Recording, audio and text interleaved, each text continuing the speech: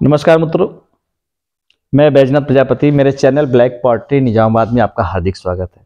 रात के नौ बजे है टेम्परेचर लगभग आठ डिग्री है, कड़ाके की ठंड पड़ रही है और आपसे रिक्वेस्ट है कि आप अपनों और अपने बच्चों का, अपने परिवार का ख्याल रखिए, कपड़े का यूज़ करिए, आग जलाइए, अलाव जलाइए और उस प्रयोग में लाइए। तो आज मेरा टॉपिक रहा है, काफ़ी दिनों बाद वीडियो बना रहा हूँ चूँकि ठंड की वजह से काम रुका हुआ है पॉटरी का।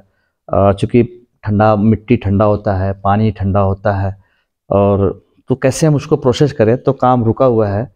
सभी लोग अपने घरों पे इंजॉय कर रहे हैं। तो मैं वीडियो नहीं डाल पा रहा था, काफ़ी लेट हुआ है। आज मैं वीडियो बना रहा हूँ।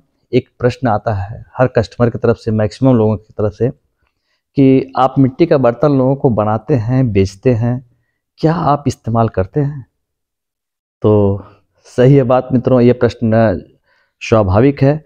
तो मैं निश्चित तौर पे आपको बता दूँ कि मैं मिट्टी के बर्तनों का प्रयोग करता हूँ, तभी दोनों लोगों को प्रयोग करने के लिए सलाह देता हूँ। तो आज मेरे घर मिट्टी के बर्तन में बना हुआ है बाटी चोखा, है ना? और जिसमें दाल, चावल जो भी बना है, जो किसका इस्तेमाल होता रहता है। डेली कुछ अलग अलग आइटम बनते हैं, लेकिन अपने उत्तर भारत में भौरी चोखा, दाल, चावल बहुत स्वादिष्ट माना जाता है। तो मैं उसको बता दूँ, दिखा देता हूँ कि ये कैसे बना हुआ है। मित्रों, ये देखिए, आप समझ सकते हैं, ये मेरे द्वारा बनाई हुई हांडी है और दो हंडियाँ हैं, शायद एक में दाल है और एक में चावल है, बाटी सामने है है ना?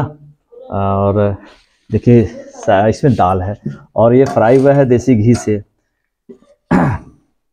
और देखिए, ये चावल बना हुआ है और आप देखिए, बिल्कुल ये देसी घी में दाल बनी हुई है, चावल और ये बॉटी है, चोखा भी इस पॉट में रखा हुआ है। देखिए, ये आपको चोखा भी बना हुआ है। तो अब मैं बता दूँ, मैं लोगों आपको सलाह देता था कि मिट्टी के बर्तन बनाने के बाद बर्तन को ज़मीन से ना टच करें। तो इसलिए देखिए, ये चूल्हे के साथ स्टैंड मिला हुआ लोहे का, लोहे पे रखे हुए हैं।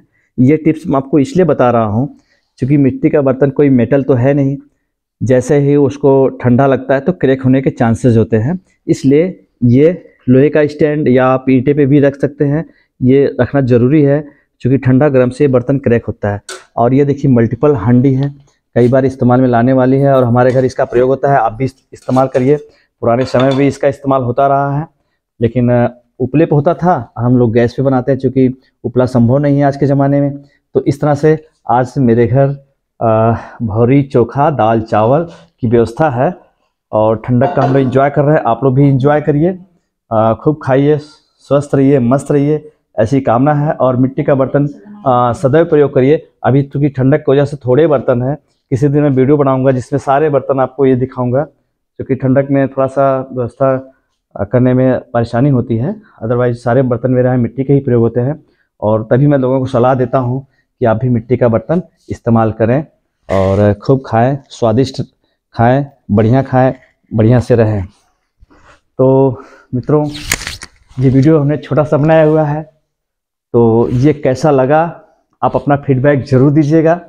मैं स्वाद के बताऊँ स्वाद तो बहुत बढ़िया है खाने के बाद बताऊँगा लेकिन आ, हो सकता है मैं उसमें कमेंट आ, कमेंट में लिख दूँ या उसका जो बॉक्स होता है उसमें मैं आपको मैसेज दे दूँगा कैसा बना है खाना।